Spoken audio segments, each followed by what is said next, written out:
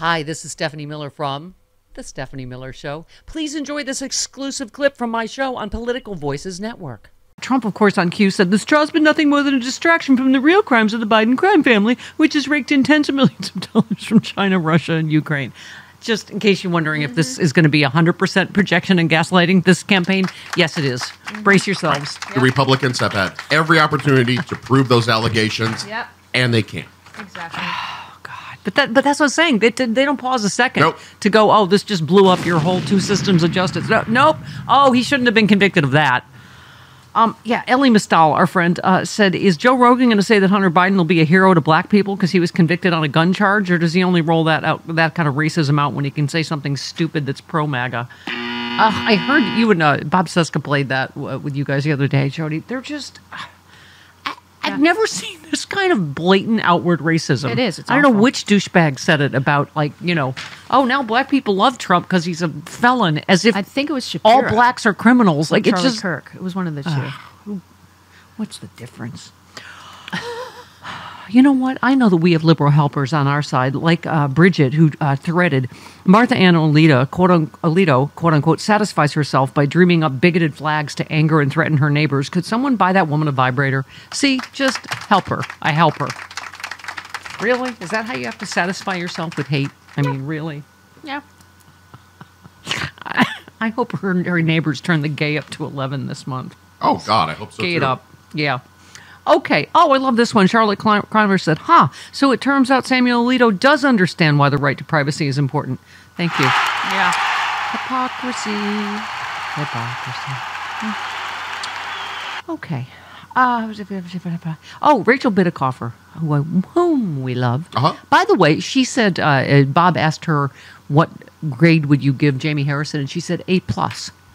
Yeah, he's doing So great. stop the bedwetting and the hand wringing. He knows what And he's also, there's a very good chance he's going to do Chicago section. You can't say that. He Yes, has- I can. It can happen. It's alleged. He's very busy. Yeah, especially Yeah. at the convention. Lawrence O'Donnell is a very he's is a very soft yes for New York. Rob Reiner is a very soft yes for L.A. These are very busy, important people. He's, he's throwing a week long party yeah. Yes, that he needs to prepare for. yes, Yes. that we will be helping with. Uh, right. Uh, Bradley Moss said so. Essentially, the argument of Fox News legal pundits is Trump is too old to serve jail time for a crime for which he was convicted, but not too old to serve as president. Got it. Yes, he is only old and decrepit as it relates to prison. Right.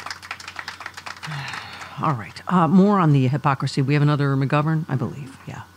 Uh, So here's the bottom line. Republicans just can't wrap their heads around the idea that their presidential candidate, your presumptive nominee, is a convicted felon. That is not the result of a sham process or some vast conspiracy by the Biden administration. That is the result of the truth. And these attacks on our justice system have to come to a stop. Yep. They are dangerous, they are irresponsible, they are nothing but false conspiracy theories being hmm. pushed to try and excuse the actions of the former president, and they are made even more absurd by the outcome of the trial this morning in Delaware. And I'm really sick of them saying that it was a conflicted judge who ruled over. it. Oh, you know what? no. the judge did not give down give the sentence. And he's not a at all. Trump It was- appointee. right, exactly. And the, the, David Weiss is a Trump appointee. Yeah. yeah. And but what happened to the screaming for weeks that it's in Delaware, so the jury's going to be rigged because they all love the Right. Biden family? La, la. Again, they think that Biden had his own son convicted.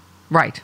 Yes. For political because- reasons, Oh, I'm sorry. yes. I derailed my own thought about oh, Rachel Oh, no. Bitecofer. Oh. It was her tweet. She said, There you go. One sentence that answers the what does Project 2025 do? My version, Project 2025, strips the rest of the government of, of its power and gives it all to Trump. Yep. So if that's you're comfortable with that, then yeah, by all means. Okay, it's weasel, cowardly Republican weasels like this that I was talking about. Paul Ryan. Mm-hmm. This is what I'm saying. If you do anything other than vote for Joe Biden and say vote for Joe Biden, you are getting Donald Trump back in office. But is this their version of bravery? I guess. I voted for him in 2016, hoping um, that there was going to be a different kind of person in office. Oh, please. And I do think character is, is, is really important issue. If you put yourself above the Constitution, as he has done, But what happened? What I don't turned, think- I what think that makes turned you unfit on for office. Was the whole January 6th thing? I, that's a part of it. I think it's a contribution of factors, but I think it really is just character at the end of the day. And the fact that if you're willing to put yourself above the Constitution, an oath you swear when you take office in federal office, whether it's president or a member of Congress, you swear an oath to the Constitution. And if you're willing to suborn it to yourself, I think that makes you unfit for office. Does it? The, these cowards, it's like the equivalent of writing a strongly worded opinion piece about Hitler. Right. Yeah, he's like- going to vote for some. He's going Right. to write in a candidate. Like yeah, he did they last said, "Are you going to vote for time. Biden?" Oh no, I think he's terrible. His policies are terrible. It's like what? They're warning that he is a clear and present danger to the United States and to the world. Yep. But you know, are you going to vote? No, right? They go right up to the line, and then you know, uh, okay, all right. Uh, Jamie Raskin and AOC. With the Hunter Biden verdict and the Donald Trump verdict, the rule of law is just working, and they're intervening, as you say, in a, a state case in order simply to placate Donald Trump. Precisely. And what we're also seeing here is the stark contrast between Joe Biden and Donald Trump. And in President Biden, we have both, yes, a loving father who is there to be supportive of his son, but also a president who respects rule of law and is willing to accept the outcomes of a case Yeah, Chris, who said, uh, as I said last week, I'm the president. This could be the easiest guess. The whatever, he's still going to get it wrong. But I'm also a dad. Jill and I It's not going to help. love our son. and we are so proud of the man he is today. So many families have had loved ones battle addiction, understand the feeling of pride seeing someone you love come out on the other side and be so strong and resilient in recovery. As I also said last week, I'll accept the outcome of this case and will continue to respect the judicial process as Hunter considers an appeal. said that. Augie Doggie and Doggie Daddy. Oh, oh Chris. Oh, that was sweet, Oh, though. I am so.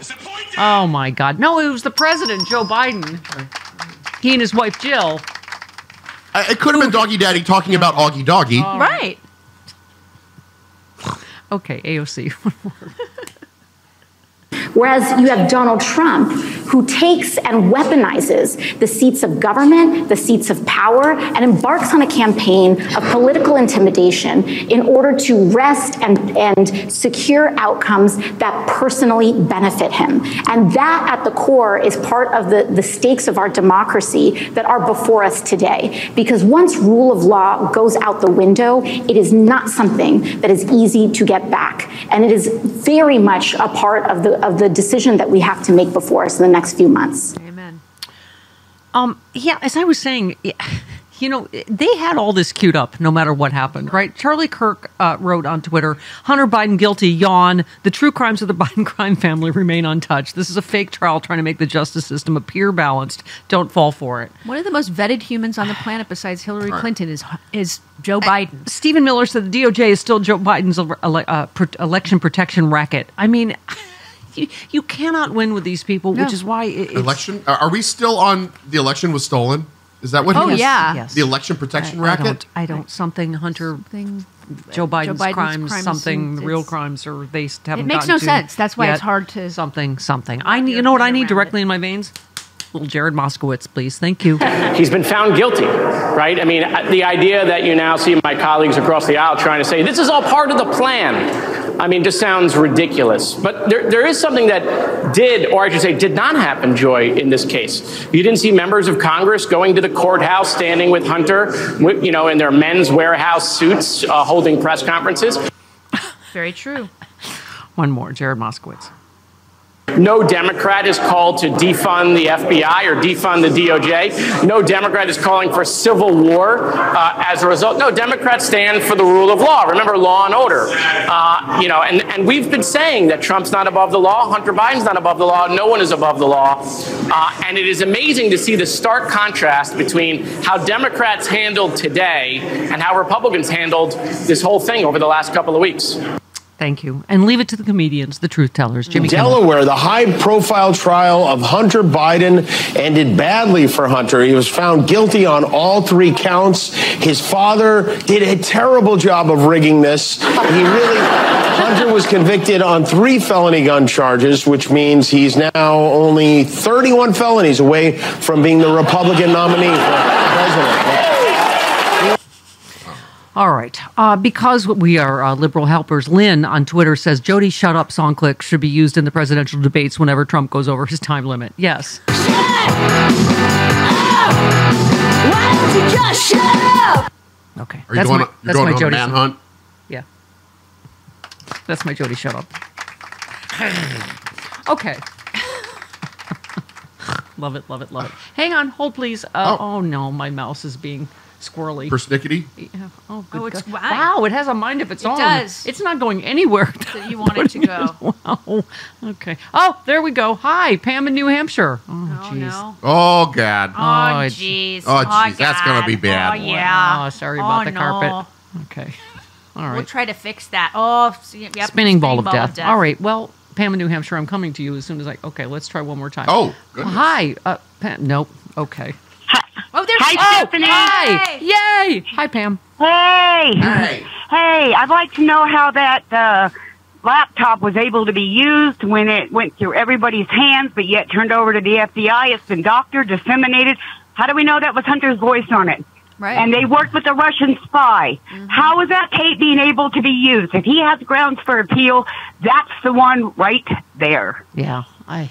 So much effery, so little time. You are invited to Stephanie Miller's Sexy Liberal Save the World Tour. It's the political comedy event of the year, and it's coming to a city near you. Join Stephanie Miller, the queen of progressive talk radio, along with Hal Sparks, John Fugelsang, and the comedy duo Frangela, mocking all the fascists and trolls for a tour that is hilarious, inspiring, and deeply offensive to just the right people. It's an all new tour with all new guests and a side splitting evening of stand up. Stephanie Miller's Sexy Liberal Save the World Tour.